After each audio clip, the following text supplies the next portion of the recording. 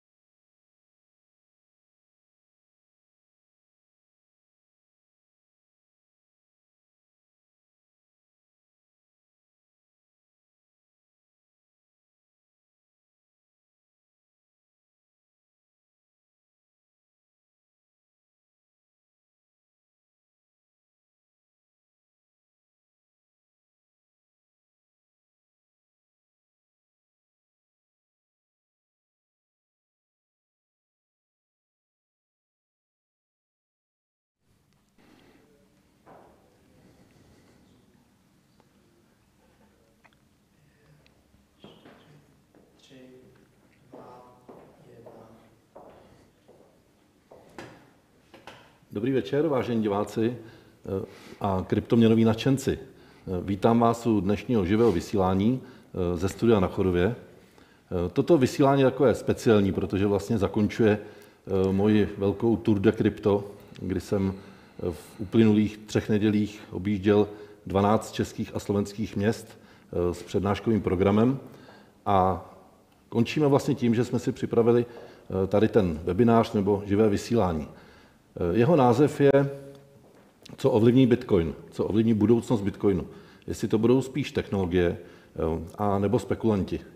A protože je to velmi zajímavé téma, tak já jsem si pozval tady hosty nejpovolanější, eh, kteří budou odpovídat na mé dotazy a případně i na vaše dotazy, pokud nějaké budete mít, eh, tak je můžete psát do té kolonky, která je dole eh, pod videem. Neslibuju, že stihneme odpovědět úplně na všechny, ale na které nestihnu odpovědět eh, v průběhu tohoto vysílání, eh, tak eh, vám na ně odpovím potom. A mým prvním hostem tady je Josef Tětek, ahoj, ahoj. Pepo, analytik, publicista a konzultant, zakladatel Ludwig von Mises institutu a člen správní rady Liberálního institutu. A druhým hostem je Martin Cibor. Ahoj Martine. Ahoj Karlo. Eh, intradenní trader s mnohaletými zkušenostmi při obchodování akcí, eh, futures a také na Forexu. A Martin se již delší dobu věnuje také kryptotradingu a vývoji arbitrážních systémů a aktuálně působí v analytickém oddělení FPG a provozuje web Forex Zone. A já jako první vlastně tady vyspovídám, vyspovídám Pepu, eh, protože bych si s ním chtěl povídat vlastně na téma, Bitcoinu obecně, nikoliv teda o tom, jaká je jeho cena a nikoliv o Bitcoinu z toho spekulantského hlediska, eh, ale o celém pozadí a o technologii a o fundamentech. Takže Pepo, já jsem tě v úvodu úplně krátce představil, ale můžeš eh, říct trošku víc o sobě, co děláš, čím se zabýváš, mm-hmm, jaký jasně. je tvůj vztah ke kryptoměnám? Jasně. Eh, teďka můj vztah ke kryptoměnám je v zásadě to, že to je můj full-time job, protože čím se teďka zabývám je, že jsem takový krypto freelancer, eh, studuju kryptoměny, co nejvíc, co to jde, prolízám reddity, slídím po Twitteru, pročítám všechny možné white papery a potom z toho sestavuju přednášky, píšu pro různé weby, Eh, píšu už asi roka půl seriál Krypto pro Finmac, píšu taky pro tvůj BTC typ, tam jsou takový pokročilejší články a taky eh, od začátku toho roku píšu taky takový návody pro Alzu, Alza.cz, docela hodně šlape do kryptoměn a zrovna dneska je taková novinka, že jsme spustili kryptobleskovky, což jsou takový rychlý okamžitý zprávy ze světa kryptoměn, co se děje, proč je to důležité to vědět. Eh, zároveň se spouští taky Twitter účet eh, CryptoAlza z C, CryptoAlza. Takže můžete followovat a můžete koukat, jaký jsou novinky, všechno v češtině, všechno aktuální. Jo, to je skvělé. Já jsem si všiml, že dneska byly spuštěny kryptobleskovky, hned jsem se na ně podíval, takže uh, to je skvělý počin a doporučuji divákům, aby sledovali blog Alzy a uh, sledovali Pepovou práci.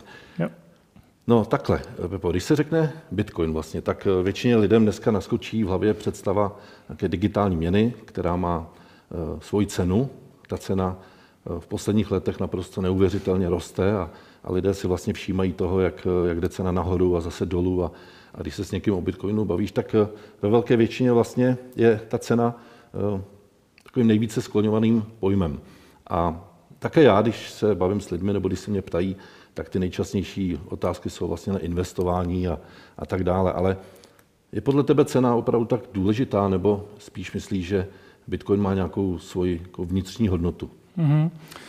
Důležité je si uvědomit, že cena a nějaký dlouhodobý fundamenty musí být dlouhodobě v rovnováze a pokud se cena odchýlí od těch dlouhodobých fundamentů, tak se tam dřív nebo později docela razantně vrátí.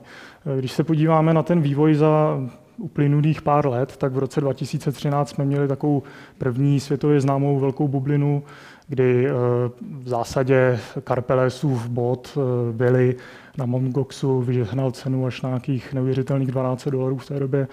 Pak Mt. Gox. Gox padl, padla i cena, protože ty fundamenty tam prostě ještě nebyly, nebyly byla to dominantní burza. 80% obchodů šlo přes Mt. Gox, takže když tady ta burza padla, tak to šlo celý do háje. V té době navíc nebylo možné kryptoměny držet nějak dobře bezpečně, pokud člověk nebyl opravdu expert. První hardwareová peněženka vznikla až v roce 2014, Český trezor. Krátce na to vznikl i trezor, vznikl i Ledger, což byla v podstatě kopie trezoru. A ty roky 2014-2015 jsou zajímavý tím, že se právě ten ekosystém a ty fundamenty posilovaly, ten ekosystém rostl, cena vyklesala na nějakých 200 dolarů a potom postupně rostla, aniž by tam byla nějaká větší bublina. Vznikly nové burzy, žádná z nich už nebyla tak dominantní, byly nějaký hacky burs, na druhou stranu lidi už začali, začínali chápat, chápat, že si to mají držet sami v nějaký té hardwareové peněžence. 2016 velká debata o škálování, 2017 tam to začalo už eh, trošku víc růst. Ale co je zajímavé se právě podívat na to, jak to během toho roku 2017 rostlo, ta cena Bitcoinu a i Litecoinu, protože v té hmm. době se eh, mluvilo o tom, že se musí aktivovat Segwit, aby se potom eh, ten ekosystém nějak dál posunul, aby se zvýšila ta transakční kapacita. A první Segwit aktivoval Litecoin a v té době to mělo obrovský dopad právě na cenu, protože najednou ten fundament Litecoinu eh, se projevil, že to je takový testnet Bitcoinu, takový doplněk Bitcoinu, když bude mít Bitcoin vysoký transakční poplatky, lidi budou používat Litecoin. A to se potvrdilo právě v roce 2017 a cena šla ze 4 dolarů na 40, potom ještě mnohem výš. Jo, to si dobře pamatuju. To si, to si dobře pamatuješ eh, a samozřejmě i lidi, kteří tě tehdy poslouchali. No a potom eh, do léta cena Bitcoinu šla asi na 2000 dolarů a pořád tam byla taková nejistota ohledně toho, jestli se ten segwit aktivuje, byl tam strach z forku, Ver a Jihan prostě tady s tím hrozně strašili. A když se aktivoval Segwit, taky přesto, že se Bitcoin forkl, tak se najednou uvolnilo to veliký napětí, který se tam těch několik let kumulovalo s tím, jestli prostě Bitcoin je schopný škálovat, jestli je hmm. schopný aktivovat Segwit. A najednou ta cena prostě odlítla úplně někam nahoru, padl BTCE, padly čínský hmm. burzy, na nic to nemělo vliv. Letělo to v podstatě ze 4000 dolarů až na nějakých 19 téměř bez přestávky. Tam už samozřejmě do toho vstoupili zase hodně ty spekulanti, kteří to prostě vyhnali opravdu během pár týdnů bez té přestávky o 10 000 dolarů nahoru. E, šlo to hlavně z Jižní Koreji, kde to jsou prostě docela velký gambleři a ty burzy se jim tam rozrostly. No a co vidíme teďka je, že ta cena se zase vrátila k tomu dlouhodobému e, fundamentálnímu trendu, dá se říct. Hmm. To znamená, že jsme se dostali na nějakých 6 000 dolarů, dvakrát jsme se toho dotkli, teďka jsme se o to, o to odrazili a ty fundamenty si myslím, že eh, tím, že se aktivoval Segwit a že se začíná implementovat Lightning Network, tak jsou pořád silný a pořád silnější. Pro mě, pro mě je to zajímavé, protože já žiju v takové sociální bublině, že já se vlastně pohybuji jenom kolem lidí, kteří, ehm, kteří mají rádi kryptoměny, ale nejsou to zdaleka jenom lidi, kteří eh, obchodují. Jsou to hodně lidé, kteří mají nějaké technické zázemí, programátoři, vlastně ajťáci, lidé, kteří byli úplně u začátku Bitcoinu a u těch právě já pozoruju to, že oni vidí tu hodnotu skutečně někde jinde. Oni jsou určitě rádi, že Bitcoin vylezl na tu cenu, na kterou vylezl, protože mnoho z nich jsou ti early adoptři, kteří jich mm-hmm. mají skutečně hodně. A, a je na tom prostě vidět, že existuje prostě skupina lidí, kterým je cena relativně jedno, kteří prostě chtějí, aby se Bitcoin rozšířil, kteří za ním vidím tu digitální svobodu a finanční svobodu a, a pro všechny ty skvělé vlastnosti, které kryptoměny mají. A na druhou stranu právě toho jsme byli svědky, no, že v tom loňském roce především vlastně pozornost přitáhl Bitcoin hlavně tím, jak, hmm. jak strašně rostl rychle nahoru. No. Já, já osobně z toho mám takový rozporuplný pocity, no, protože samozřejmě jsem taky rád, že cena, cena roste. Na druhou stranu mě taky úplně netěší, když, když by to mělo být jenom tak, že prostě Bitcoin je zajímavý, protože stojí to, co stojí, jo, nebo, nebo hmm. že je hmm. tak volatilní. Ono to na sebe poutá pozornost a podle mě mm, samozřejmě má to své negativa. Kdo tam nastoupil na 19 tisících ještě s nějakou pákou, ještě se na to zadlužil, tak eh, ho to prostě zlikvidovalo. Na druhou stranu si myslím, že to, že se psalo o Bitcoinu na Bloombergu, na všech těch velkých médiích, tak to prostě přilákalo mm, i lidi, kteří se zajímají o ty technické fundamenty a o to, že to lidem může při, eh, přinést finanční a transakční svobodu, což ty stávající fiat měny prostě nemůžou. Jasně. Takže si myslím, že to splodilo zase spoustu nových hodlerů, ať už z donucení, anebo z toho přesvědčení. Jo. Hodleři jsou skvělí, hodle je skvělý slovo. Přesně. Eh, když se bavíme o fiat měnách, tak eh, myslíš, že někdy v budoucnu má vůbec jako šanci Bitcoin nějakým způsobem nahradit eh, fiat měny jako takový, nebo být jenom jejich alternativou? A co by to mohlo nejvíc, dejme tomu, uškodit, aby se tak nestalo, mm. anebo naopak pomoct? Já si myslím, že kryptoměny s Bitcoinem v popředí tady ten potenciál mají docela vysoký. Libertariáni ty vždycky hledali nějakou alternativu ke kryptoměnám, eh, pardon, k fiat měnám. Hmm, hmm. A tu alternativou eh, za dlouho bylo braný za tu alternativu zlato. A vznikaly projekty jako Liberty Dollar, tištěný, prostě ražený zlatý a stříbrný mince. A tady ty projekty většinou dopadly hodně špatně, jak pro ty účastníky, tak pro ty provozovatele, například, že je zavřeli na 20 let do vězení.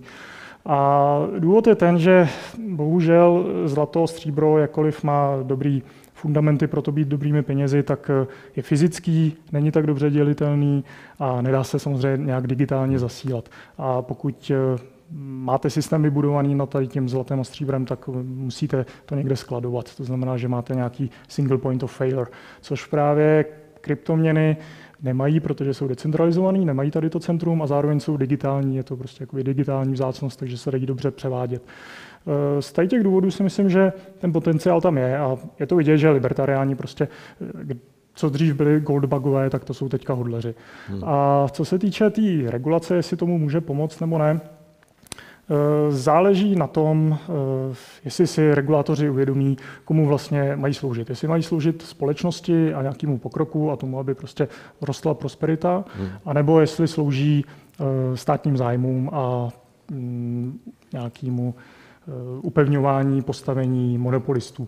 Eh, v podstatě, kdybychom se podívali v 90. letech, eh, e-mail najednou začal ohrožovat monopolní postavení americké pošty, řekněme, protože tam má prostě monopolní postavení na zasílání dopisů a kdyby prostě regulátor řekl, e-maily to je v zásadě jako dopisy, takže to zakážeme, tak kdo ví, kde by dneska byl internet. A Samozřejmě e-mail a internet eh, představuje jeden z největších skoků dopředu pro lidstvo. Takže pokud si regulátoři uvědomí to, že to je taky jako hodně veliký pokrok, stejně jako ten e-mail a internet, tak si myslím, že ten potenciál nahradit do určitý míry eh, v ty fiat měny tam bude. Na druhou stranu samozřejmě peníze jsou trošku něco jiného a pro stát eh, je monopol na peníze hodně důležitý, už jen z toho důvodu, že většina velkých států na světě Eh, má velký dluhy. A ty dluhy se snaží tak jakoby cíleně erodovat monetární politikou, která je inflační všude na světě. To znamená, že když tam najednou začne konkurovat deflační měna, tak je otázka, jestli si do toho nechají ty regulátoři takhle vstoupit. Hmm. Já vždycky, když se na podobnou otázku zeptám našeho společného kamaráda Dominika Stroukala, tak mně se líbí jeho odpověď, když on říká, pravděpodobně se to stane, ale eh, já už se to asi nedožiju. Hmm. Jo. Eh, já zase takový skeptik nejsem teda, ne, že bych eh, byl tak nezměrný optimista, že bych si myslel, že úplně kryptoměny totálně nahradí si celý bankovní systém a finanční systém tak, jak funguje. Na druhou stranu si myslím, že se velmi rychle blíží doba, kdy bude zdatným konkurentem, nebo respektive kdy bude dobrou alternativou. A, a já doufám, že to bude v době, kdy vlastně už bude příliš pozdě na nějaký pokusy regulovat. Nebo pokusy určitě hmm. přijdou, ale, ale že možná pozdě na to, na to dotáhnout úplně do konce. Na druhou stranu jsou tady vlastně obráceně i takový vládní pokusy o, o vlastní kryptoměny. Ať už je to venezuelský petrol nebo možná ruský kryptorubl ve mhm. Švédsku. Mm-hmm. Myslím, že jsou taky takovéhle pokusy. Jak ty se díváš na tohle vlastně, že, že státy najednou si všimly, že existuje nějaké krypto, že je to nějaký buzzword prostě mezi, mezi lidmi, hodně skloňované slovo, a, a začínají vyhlašovat, že uh, také chtějí blockchain a také chtějí uh, kryptoměny. No to nedává úplně ekonomický smysl, ale myslím si, že to dává do určitý míry politický smysl. Protože Takový trošku problém dnešní monetární politiky je ten, že jsme narazili na tu hranici eh, nulových úrokových sazeb. Teďka se trošku zvyšují, ačkoliv ECB má pořád negativní úrokové sazby. Mm-hmm. A až přijde další krize, tak už nebude kam klesat. To znamená, že pravděpodobně se začne rušit hotovost. A potom eh, je otázka, jak bude vůbec provádět tu monetární politiku. A existuje docela hrozivá prezentace firmy Chain pro centrální banky, kde mluví o tom, proč by centrální banky měly právě vydávat kryptoměny. A ten důvod je jednoduše takový, že pokud máme jako dneska systém, kde máme centrální banku, komerční banky a klienty té komerční banky, tak centrální banka nemůže napřímo regulovat ten systém. Hmm. Ona musí prostě přes ty úrokové sazby a přes ty komerční banky a tak dále, ale pokud úrokové sazby budou na nule, tak už nemá moc jak s tím hýbat. To znamená, že kdyby všichni v zásadě měli účet u centrální banky, všichni ty koncoví klienti, respektive by drželi kryptoměnu centrální banky, což je rozhodně jednodušší, než kdy tam všichni měli účty, tak najednou má uh, plný dohled nad tím systémem a může ho plně regulovat prostě podle svůj vůle. Pravděpodobně centra, kryptoměna centrální banky by nebyla decentralizovaná, tam by prostě ten nout a ten těžař byla prostě Jasně. centrální banka. No, co by to mohlo způsobit, kromě toho, že samozřejmě eh, by to byl hodně velký měnový fašismus v tom státě konkrétním, kdyby prostě z rozhodnutí centrálního bankéře vám zmizelo z účtu 10% eh, vašich peněz, anebo třeba 20% přibylo a nastartovalo by to vysokou inflaci, tak eh, měnové války mezi státama. Najednou by se prostě ve Fedu rozhodli, tady ta země náš, není náš kamarád teďka, tak jim spálíme koiny. Takže by si prostě státy mezi sebou třeba začaly takhle pálit koiny. Na druhou stranu mě... třeba, jo, že by vlastně... Určitě by se samozřejmě to hackovalo, protože stát není schopný něco pořádně zabezpečit. Jasně. Eh, na druhou stranu možná, že bude lepší, když si ty státy budou mezi sebou pálit koiny, než vesnice a města, jako to dělají no, dneska. Určitě. Tak ono na druhou stranu zase já, ne, že bych tyhle pokusy vyloženě vítal, ale zase si uvědomuji, že pokud eh, se podaří prosadit pojem kryptoměna, i když vládní coin žádná kryptoměna hmm. není, takže možná to způsobí i nějaký jiný pohled eh, běžných lidí na používání těch klasických kryptoměn, nebo že budou vzatý jako víc na milost. Jo. Když to hmm. vezmu klasické kryptoměny, že se proti ním třeba nebude tolik eh, bojovat na té na vládní úrovni a tak dále. Jo. Protože, co si budeme povídat, pořád lidi jsou zvyklí mít na sebou nějakou ochranou ruku, nějakého tatíčka, v tomhle případě stát nebo centrální hmm. banku. A, a prostě se jenom ty běžné papírky, které dneska jsou stejně na účtech jako hmm. čísla, vymění za pojem kryptoměny. Jo. Všechno poběží dál. Tady v tom třeba mi přijde zajímavá šéfka měnového fondu Christine Lagarde, která se ke kryptoměnám vyslovuje poměrně pozitivně. E, a obecně je poměrně překvapivý, ale je nutné to říct, že ty největší regulátoři kryptoměny nechtějí zabít jako takový. Hmm. Často jim vadí vyložený podvody, ICOs často vadí, protože to jsou neregulované nabídky investičních nástrojů, ale proti Bitcoinu téměř nikdo nic vyloženě nemá, protože samozřejmě taky není úplně anonymní, eh, to znamená, že nějaký kriminálníci ho asi úplně využívat nebudou. Takže já si myslím, že ty regulátoři eh, relativně racionální v Evropě a v Americe si uvědomují, že to je něco velkého a pokud by to zakázali v tady těch nejvyspělejších zemích, tak se toho prostě chytne, chytnou země jako Rusko, Čína, Japonsko hmm. Eh, a prostě ten to epicentrum eh, toho vývoje ve 21. století se prostě přesune jinam a to si oni nechtějí nechat uvít. Jasně. Ono zase na druhé straně tady existují skutečně anonymní coiny, když se bavíme o anonymitě, jako je Monero a mm-hmm. další. A to vlastně souvisí s takovou mojí otázkou, eh, se chci bavit trošku o altcoinech, vlastně o těch dalších, eh, dalších digitálních měnách, kde já pozoruju hlavně poslední dobou, že se rozvěřují jako diskuze o tom, nakolik jsou vlastně užitečné altcoiny a nebo nejsou. A existuje hodně takzvaných bitcoin maximalistů, kteří hmm. říkají, že bitcoin vlastně úplně stačí, že všechny ostatní měny jsou zbytečné, protože vlastně všechny ty vlastnosti Bitcoin, které už má, tak může mít i další. Klidně může být totálně anonymní. Stačí změnit kód, respektive eh, vyvinout kód tak, aby, nebo vylepšit, aby anonymní byl. Jak ty se díváš třeba na, na užitečnost eh, altcoinů jako takových, eh, nebo měl by hmm. být opravdu jako Bitcoin multifunkční a obsáhnout úplně všechno? No, ono by to bylo hezké, kdyby Bitcoin byl naprosto univerzální, ale Ono to není možné eh, podle mě jak ani z technického hlediska, tak ani z politického hlediska. Eh, z technického hlediska tím myslím to, že když se podíváme například na Monero nebo eh, měny, které jsou postaveny na těch zero knowledge, jako hmm. zero cash a tak dále, tak ta transakce anonymní tam trvá vytvořit poměrně dlouhou dobu a taky je poměrně nákladná. To znamená, že pokud chceme Bitcoin, který má mít nízký transakční poplatky, vysokou kapacitu a zároveň anonymní transakce, hmm. tak tady ty tři věci nejdou úplně dohromady. A plus je tam problém té politiky, když se podíváme jenom na to, jaký problém byl aktivovat blbej Segwit, což o čemž se debatovalo prostě asi dva roky a všechno to bylo plně popsané, navíc to bylo testované v Litecoinu, tak i tak to byl problém a i tak se prostě z toho potom forknul Bcash. Tak si nemyslím, že eh, ty prohlášení o tom, jak je Bitcoin schopný absorbovat úplně všechno, stojí jakoby v realitě, protože hmm, hmm. ta politika je prostě obrovská. Viděli jsme to potom i následně na 2x eh, a prostě jaká byla vlna no 2x a přitom se jednalo jenom o blbý zvýšení prostě limitu bloku, na čemž se už eh, dneska jako i core developeri shodují, že by to Bitcoin utáhl. No takže Eh, myslím si, že ty altcoiny tady mají svoje místo na trhu.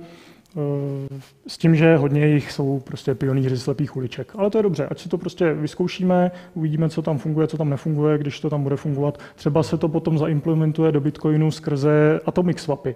Jsem uh, veliký fanda, hodně se těším na to, až se Lightning Network pořádně rozroste a potom uvidíme, jak moc jsou kompatibilní právě ty klony Bitcoinu přes atomic swapy. To znamená, hmm. že pokud nastane situace jako v prosinci, kde byly transakční poplatky na Bitcoinu třeba i 10 dolarů, tak lidi si budou otevírat Lightning Network kanály třeba přes Litecoin nebo přes Vertcoin. A mimochodem Vertcoin je hodně zajímavý příklad tady té kryptoměny, protože eh, tam v zásadě pracují na takovém prvním, eh, na takovém prvním hardwareovém noudu, který má sloužit jenom pro Lightning Network. Jmenuje se to Litbox a dělají mm. na tom lidi z MIT a mají to spouštět někdy teďka ve druhém kvartálu. Eh, takže a oni staví právě na tom, že přes ty atomic swapy to bude plně kompatibilní napříč blockchainama. Jasně. Takže si myslím, že kryptoměny buď se budou nějak trošku doplňovat, nebo budou nabízet úplně něco jiného než Bitcoin, přičemž Bitcoin to nebude schopný implementovat kvůli té politice nebo i kvůli technologickým problémům. Ale samozřejmě 95% eh, shitcoinů, jako jsou banana coiny a denta coiny, to nedává vůbec žádný smysl. To jako se samozřejmě shodnu. Jasně. No, tak já, já osobně jsem samozřejmě zastáncem v tomhle konkurence a, a vnímám to podobně jako ty, že by byla vlastně škoda, aby i právě z těch politických důvodů, když se to takhle řekne, eh, tady probíhaly nějaký zlouhavý pokusy o zavedení eh, nebo změnu vlastností Bitcoinu hmm. tak, aby postihnul všechno. Protože vlastně v době, kdy ty altcoiny, které dneska něco řeší jiného, ať je to anonymita, ať je to, já nevím, decentralizované ukládání dat a tak dále, tak vlastně až budou plně implementovaný, budou mít nějaký use case, tak to bude v době, eh, kterou prostě už Bitcoin nedožene. A byla hmm. by škoda vlastně všechny ty možnosti, které decentralizovaný svět kryptoměn nabízí, hmm. Eh, taky nevyužít. Hmm. Asi k tomu nepotřebujeme 1500, 1500 altcoinů, ono jich bude mnohem víc, jako říká se až 10 tisíc, hmm. 1500 je těch obchodovatelných. Ale já zkrátka vidím smysl Bitcoinu taky v tom, že je to uchovatel hodnoty, má plus svoje další vlastnosti samozřejmě, které z něj dělají Eh, do určité míry ideální transakční prostředek a tak dále, ale zkrátka taky vidím, že altcoiny tady mají svoje místo. Mm-hmm. Možná na rozdíl od eh, ICO, no, protože já vím, že se také aspoň teoreticky zabýváš ICO projekty, Initial Coin Offering, vlastně způsob toho, jak eh, narajzovat peníze na nějaký startup a, a jak tokenizovat nějaký, nějaký průmysl, nějaký obchod a tak dále. Jak vlastně vidíš budoucnost ICO jako takových. Eh, ono se teď hodně vlastně skloňuje to, nebo respektive čeká se, že praskne nějaká bublina na ICO. Hmm. Eh, myslíš, že je to model, který má šanci na, na přežití vlastně tímhle způsobem vytvářet nový a nový ICO tokeny? Já si myslím, že v první řadě je to model, který tady byl zapotřebí, protože během hrozně krátké doby se ověří hrozně velký počet modelů. Uh, ono se říká, že ICO jsou jenom jednoduchý copy-paste RC20 tokeny, ale není to úplně pravda. Uh, vznikají tam i v menšině projekty, které nabízejí opravdu něco nového. A ty lidi, kteří tady to chytnou, tak samozřejmě na to můžou hodně vydělat. Na druhou stranu je tam hodně podvodů a tak dále.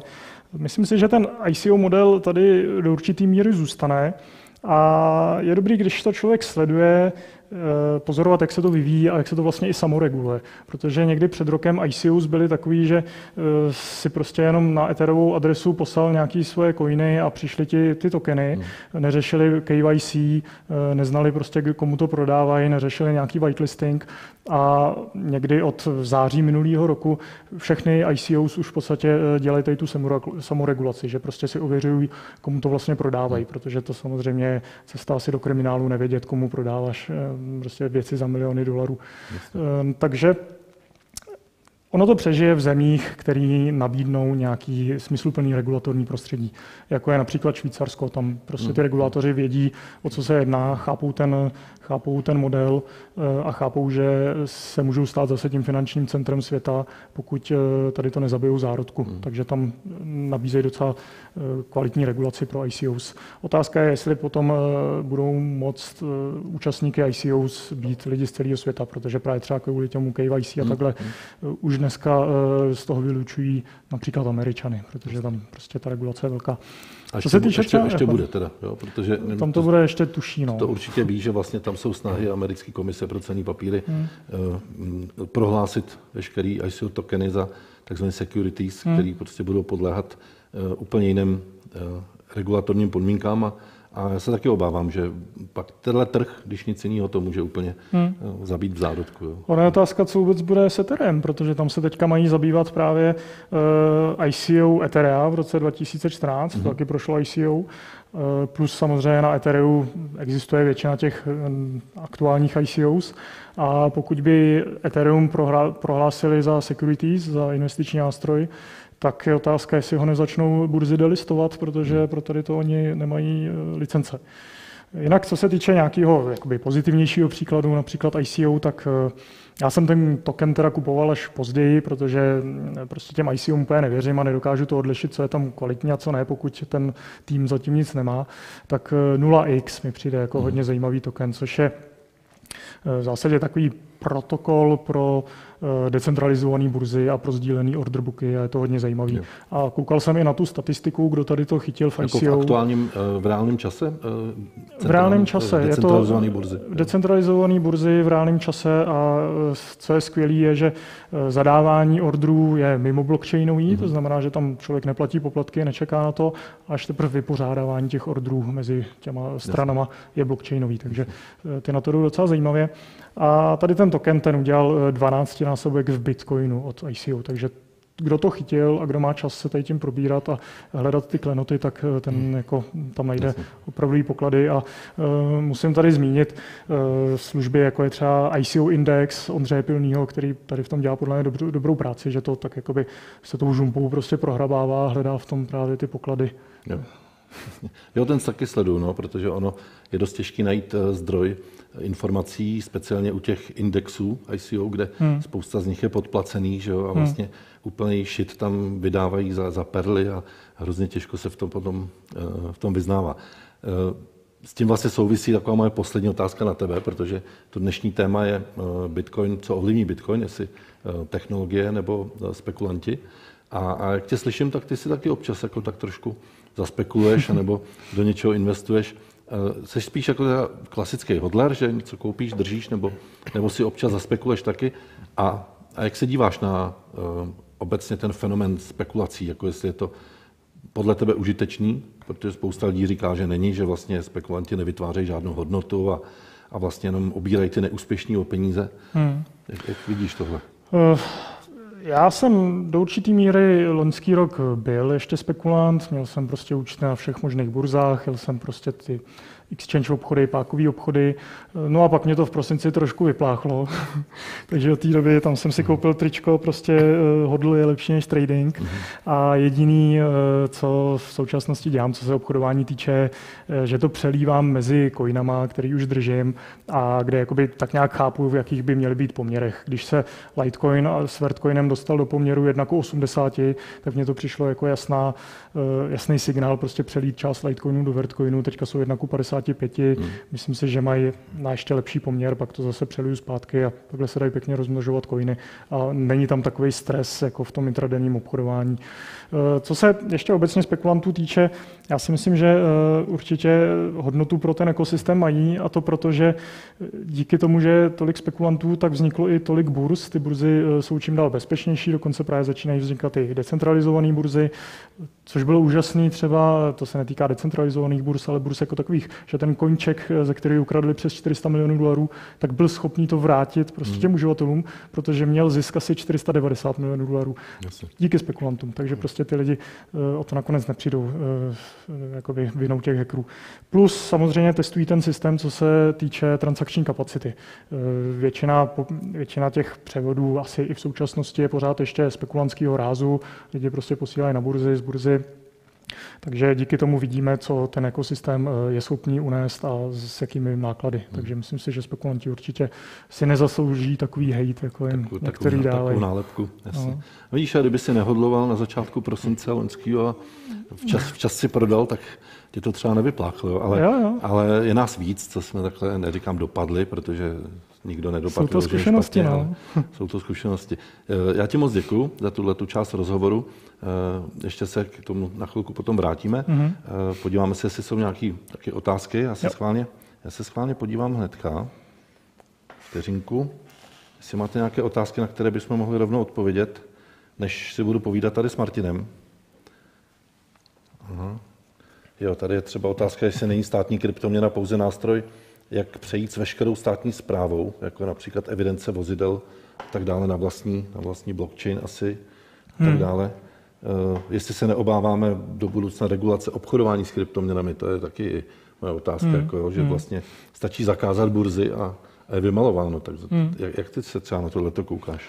Uh, no, co se týče uh, různých registrů na blockchainu, tak podle mě problém státní zprávy není v tom, jakou používá databázy, ale jakou má obecně motivaci poskytovat nějakou kvalitní službu těm občanům, což prostě státy tak nějak z povahy nemají. A zrovna co se týče třeba registru vozidel, tak eh, v Americe je úplný mím právě z toho, jak dlouho lidi čekají eh, na tom jejich registru vozidel a eh, v podstatě, ať se člověk podívá do jakýkoliv země, tak tam mají prostě problém s registrem vozidel mm, a nějakýma prostě takovými úřadama. Takže myslím si, že tady to blockchain ani žádná technologie neřeší, to je prostě politická a ekonomická otázka. na to, že blockchain jako v současné době, ať se na to díváš, jak se díváš, tak je v podstatě méně efektivní. Jo. Hmm, Pořád přesně. je, je zbytečný spoustu věcí. Jako, no.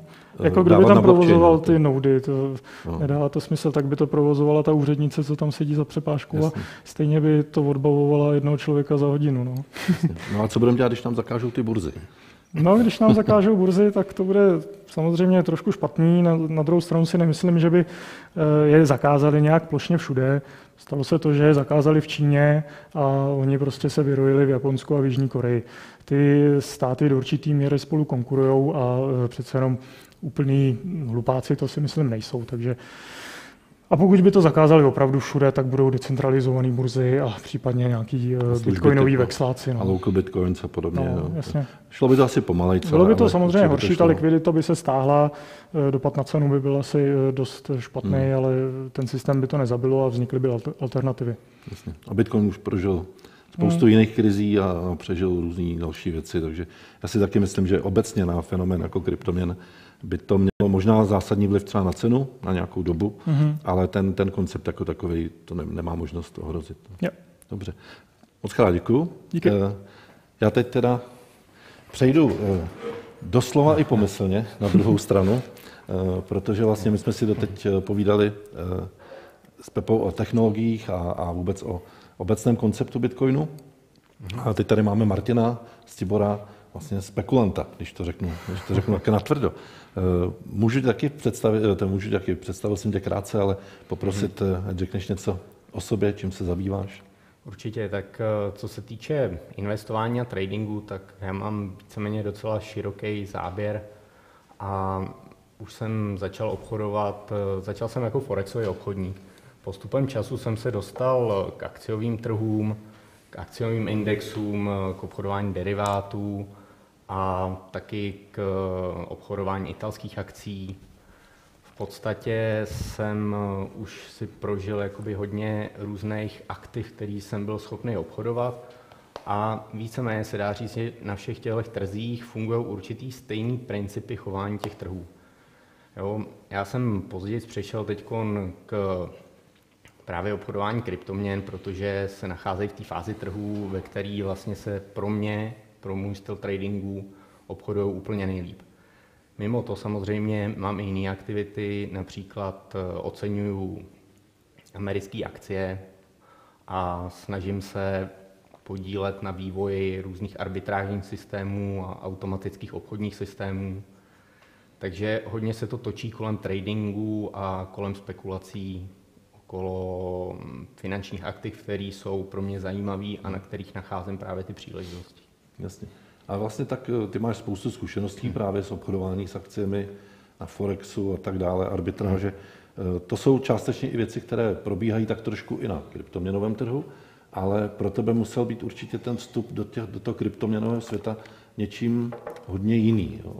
Je tam, je to, jako potýkal jsi se na začátku s něčím, že buď tedy tak, že jsi si říkal, Ježíš, to je strašně jednoduchý, když už umím teda tohle, tak vlastně eh, ty burzy jsou strašně jednoduchý. A nebo, nebo naopak, že jsi říkal, že to je džungle, jako to mi bude trvat. Než...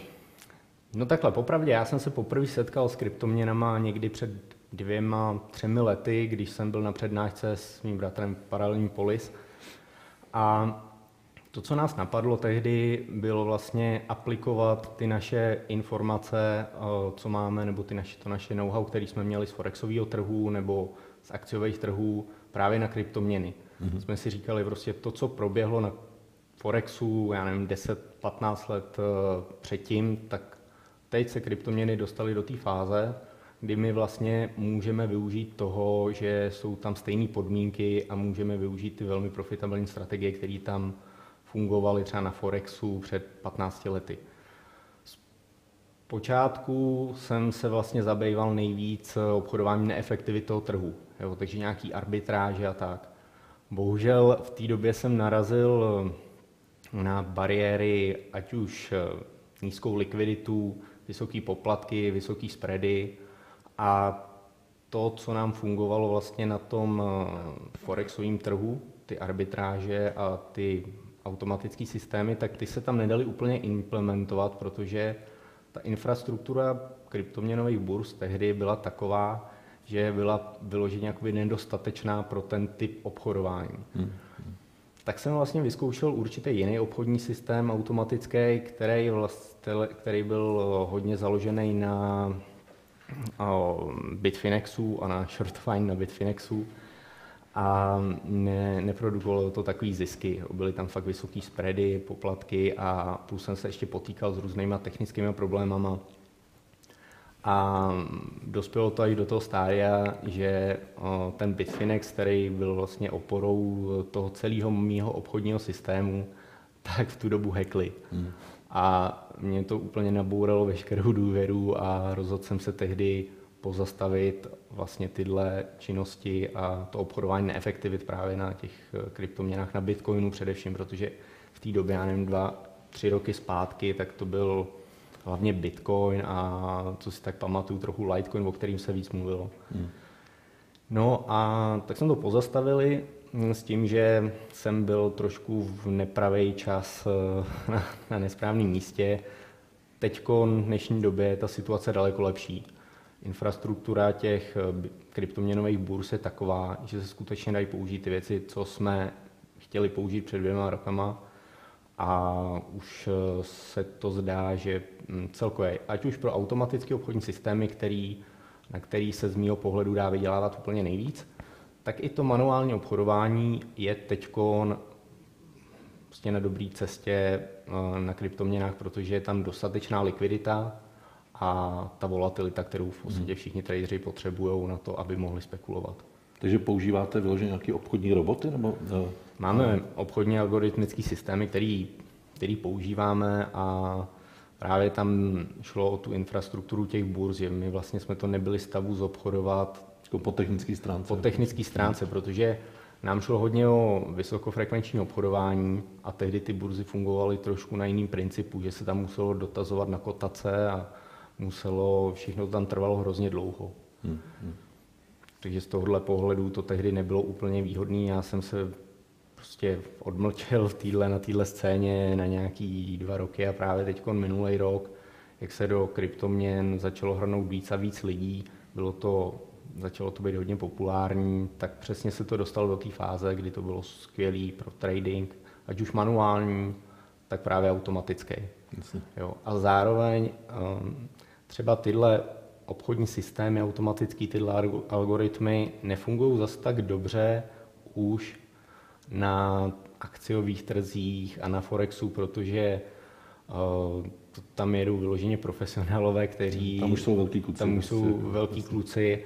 A co si budeme povídat, Bitcoin v současné době, ta celková tržní kapitalizace všech kryptoměn dosahuje trošku větší tržní kapitalizace než třeba v Americe Walmart, hmm. což je prostě sice obrovská společnost, ale furt je to jenom jedna firma. Jasně, jasně. Mimochodem, já jsem si kdysi taky vyzkoušel arbitráže, ale teda přímý, jo, manuálně. Hmm. No. Kdysi dávno, když právě tady byl ještě MTGOX, hmm. tak eh, na jiný burze BTCE, hmm. ten, ten rozdíl vlastně v ceně tam byl kolikrát 8, možná 10%, takže i přes ty vysoké poplatky hmm. se vyplatilo nakoupit na BTCE a poslat eh, na mm. MTGOX. Mm. Ale právě tam byl největší problém v tom, že na začátku to šlo, protože když si chtěl dostat vlastně peníze, dolary z MTGOXu, zpátky na, ten, na to BTCE, mm. tak to trvalo třeba den.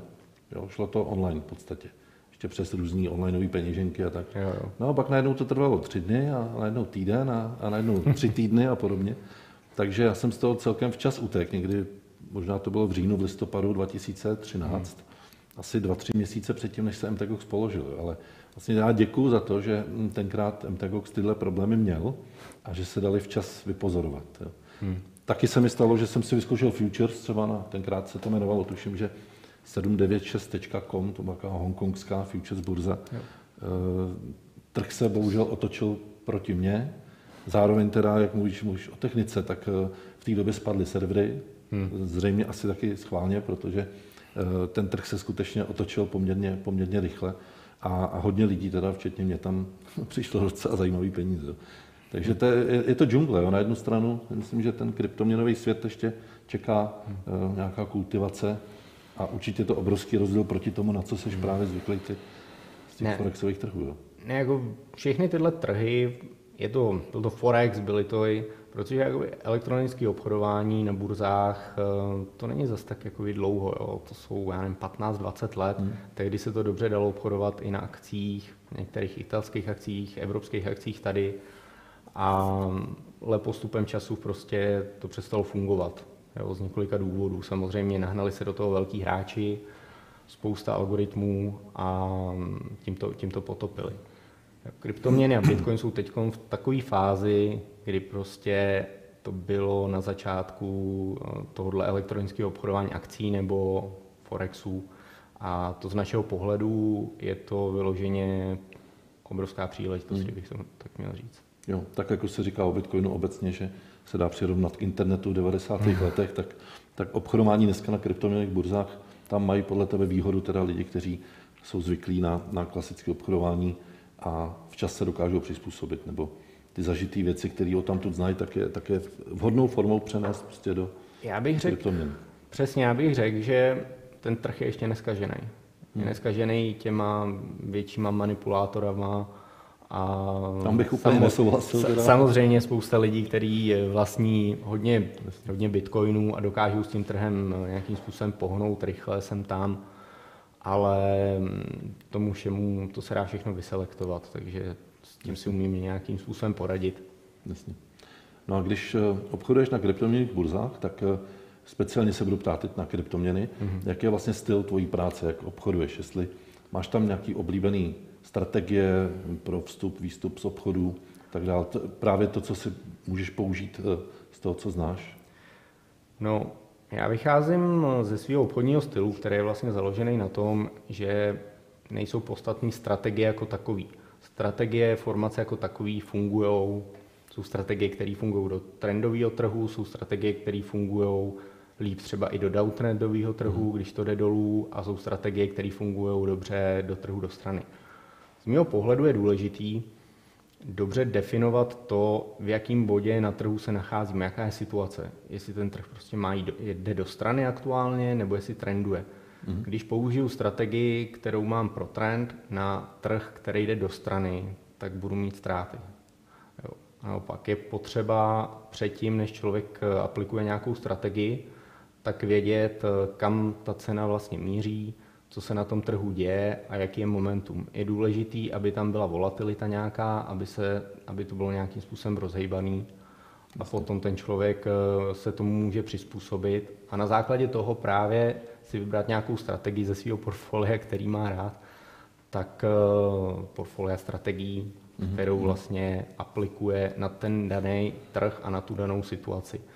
Jo, takže samozřejmě je to do určitý míry nějaká diskrece, nějaký rozhodování toho tradera.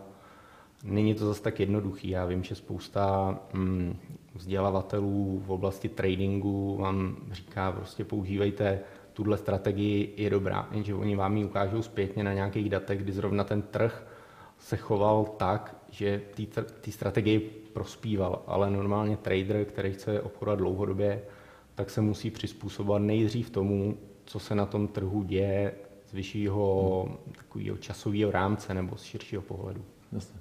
To znamená, že jestli to dobře chápu, tak asi ty i hodně dáš na technickou analýzu, na, na to, jakým způsobem vlastně přečíst ten trh, anebo když už ne přečíst trh, tak ono je to spíš o tom uh, přečíst, co si o tom trhu myslí ostatní a vlastně se tomu přizpůsobit.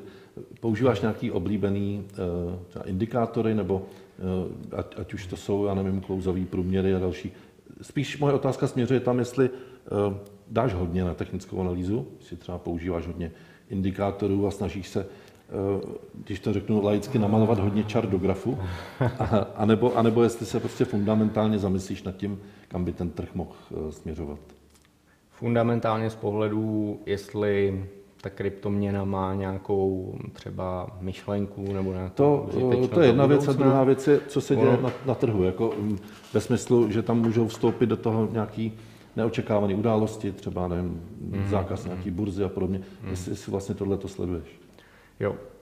No, uh, já vlastně sleduju, co se týče fundamentů a když intradenně obchodu, tak sleduju stránku uh, cryptopanic.com, kde vlastně naskakují vyloženě v řádu vteřin důležitý informace z pohledu fundamentů. Mm-hmm. A tam samozřejmě si dávám pozor, jestli na trh nepřišlo něco fakt výrazného, něco důležitého, co, něco důležitého, co může tu cenu nebo celkovou tu situaci na trhu nějakým způsobem změnit.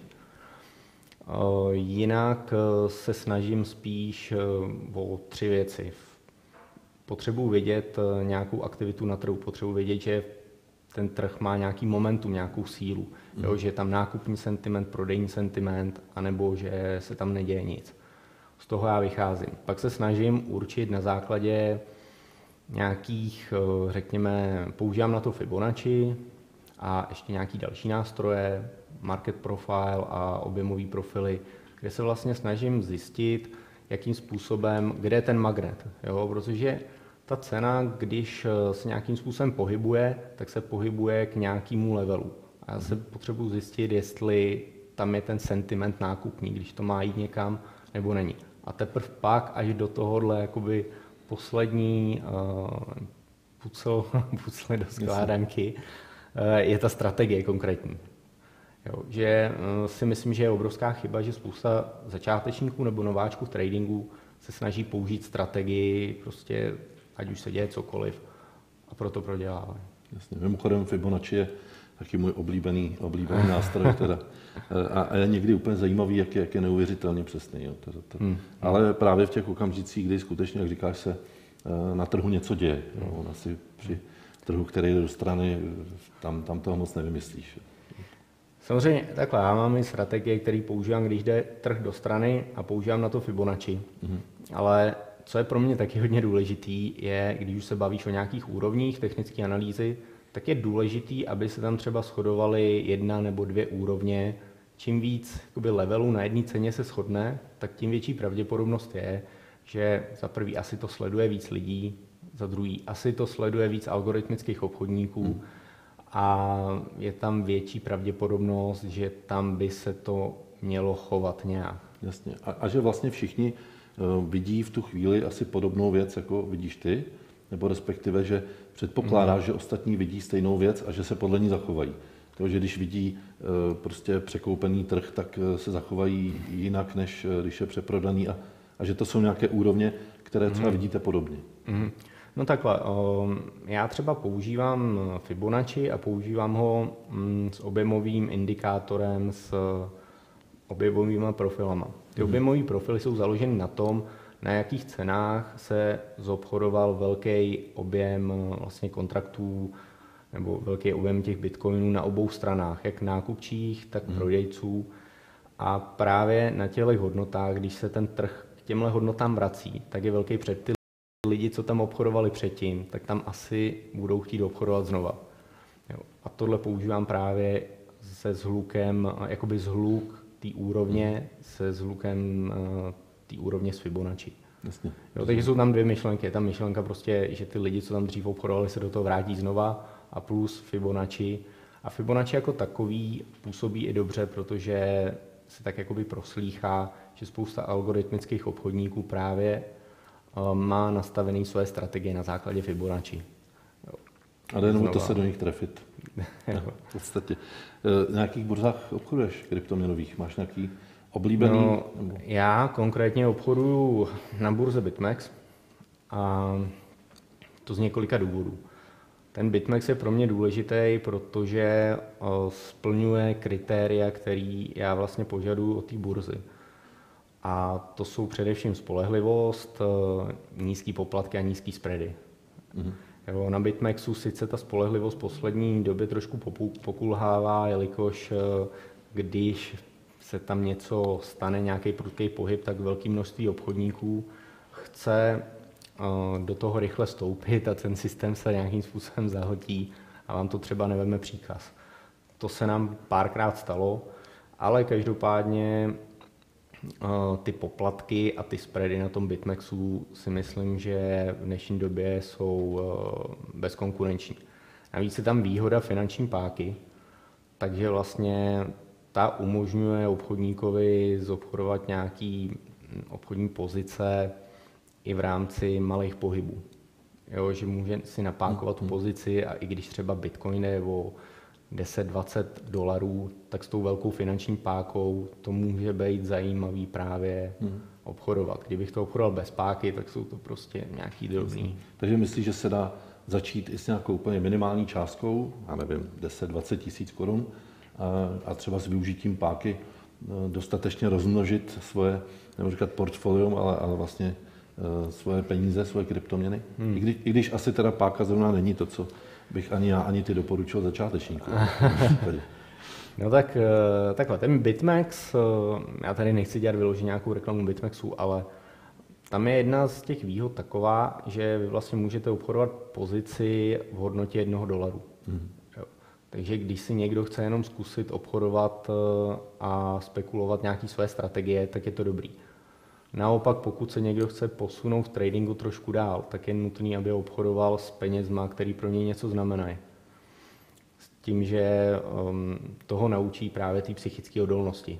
Hmm. Jo, je velký rozdíl mezi tím obchodovat třeba nějakým demoučtu nebo nějaký peníze, které jsou člověkovi jedno, tak se chová úplně jinak, než když vlastně v tom má peníze, Neříkám, samozřejmě všude jsou takové ty poučky, že člověk by neměl obchodovat s větším objemem peněz, než je ochoten ztratit, nebo než může ztratit. Hmm. Ale já mluvím o tom, že prostě pokud ten člověk bude mít nějakou ztrátu, tak by měl cítit nějaké emoce. Pokud bude mít zisk, tak by měl taky cítit emoce. Jinak si tím nevydělá. Jasně. Jo. A musí se, musí se vyrovnat ať už s těma negativníma emocema, s tou panikou, tak se musí vyrovnat právě s tou euforií.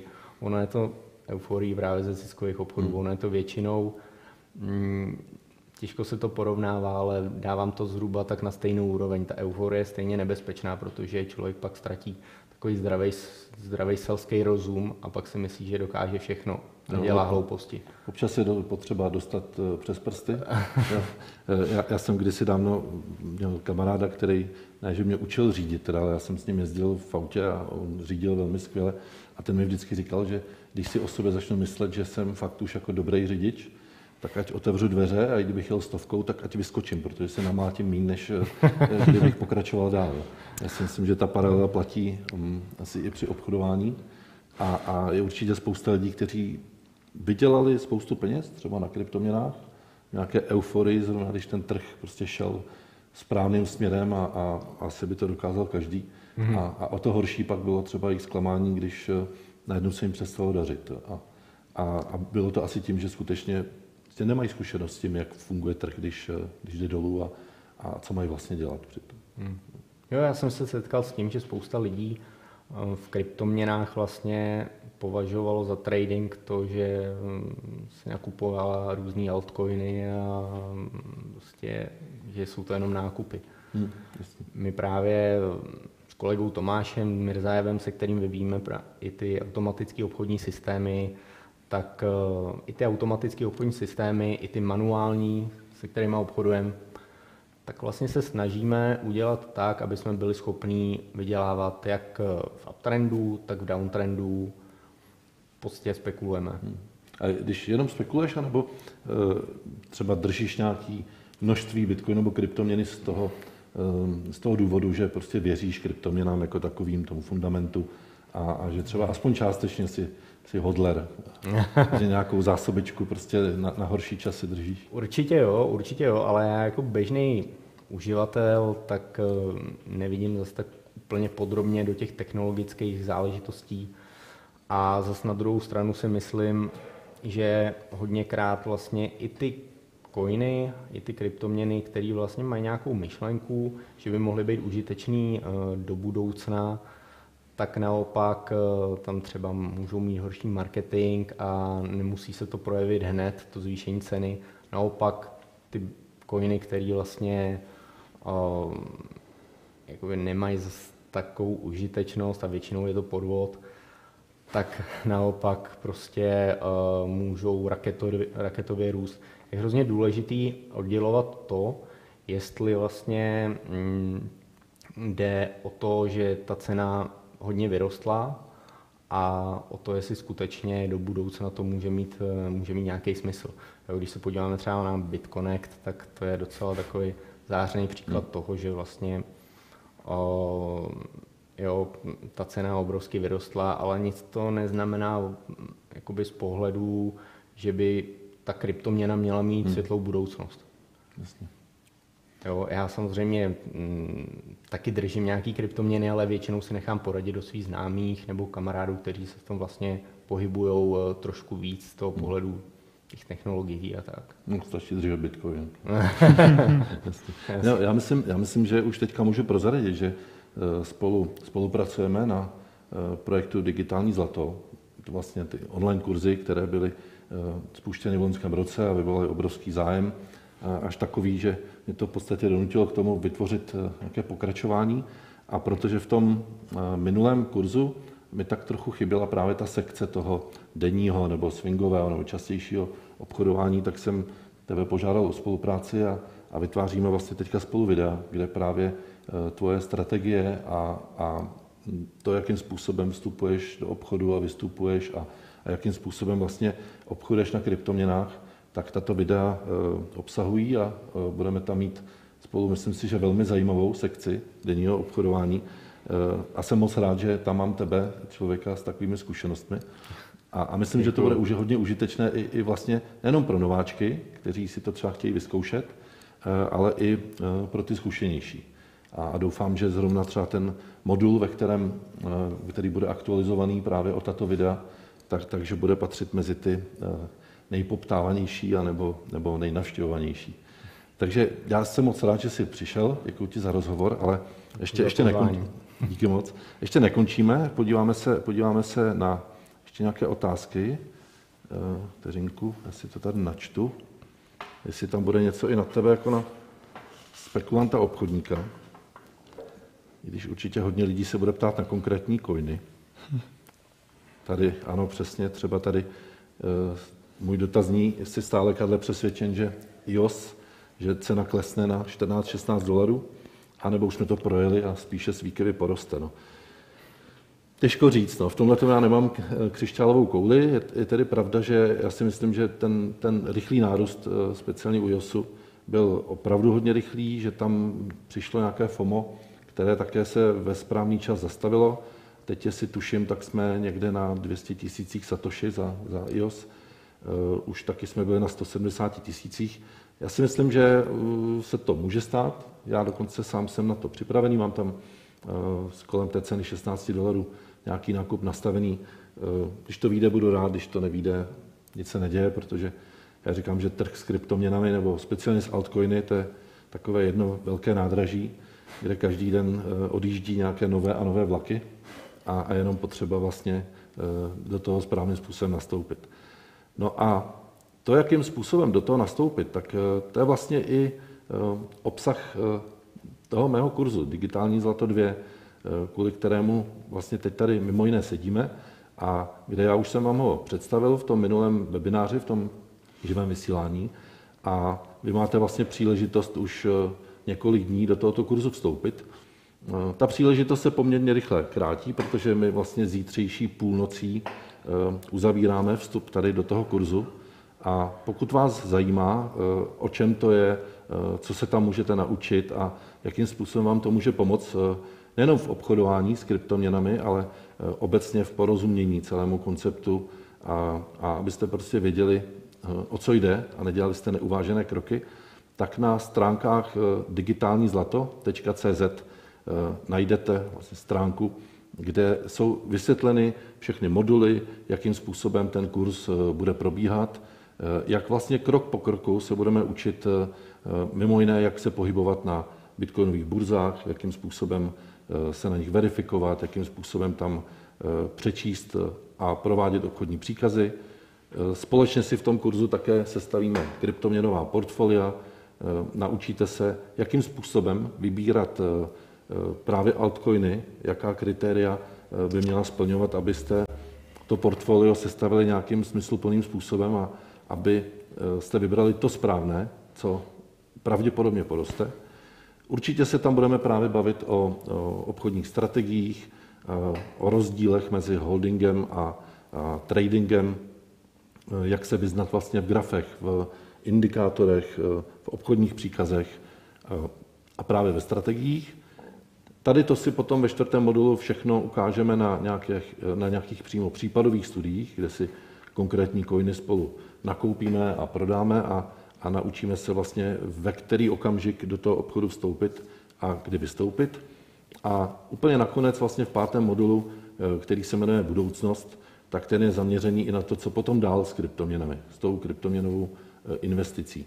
Jestli držet, jakým způsobem eh, držet, jestli se dá potom na kryptoměnách ještě dál vydělat a, podobně. Já, já tady mluvím o pěti modulech, on ten kurz vlastně probíhá tak, že v pondělí 7. května Eh, začne tím, že bude spuštěn první modul s několika videí a vlastně každý týden, celkem to bude trvat pět týdnů, tak každý týden tam bude představený nový modul a vy máte možnost eh, prohlížet videa, vracet se k ním, učit se podle nich a co především, tak celý ten týden, respektive po celých těch pět týdnů, eh, já vám budu k dispozici, budu tam odpovídat na vaše dotazy a budu pracovat prostě na tom, abyste se Eh, abyste se někam posunuli a budu vám v tomhle plně k dispozici.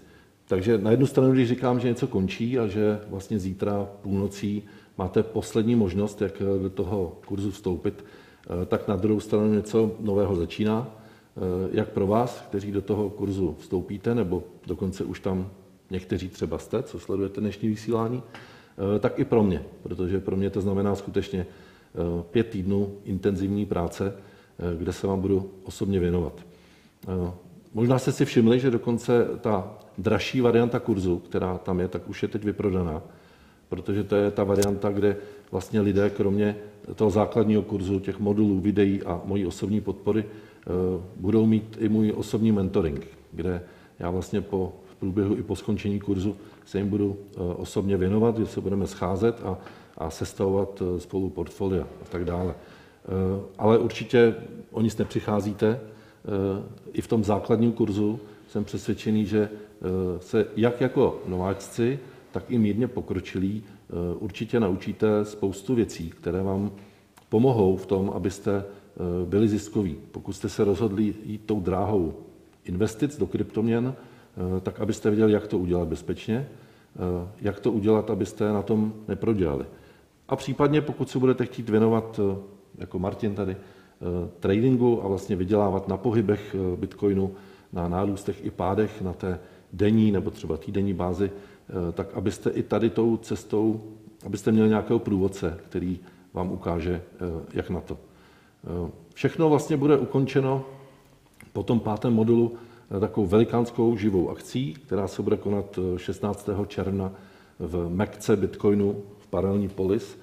Ta loňská akce byla velmi úspěšná, protože to byl takový workshop, kde vystoupilo několik řečníků, mimo jiné i Pepa Tětek.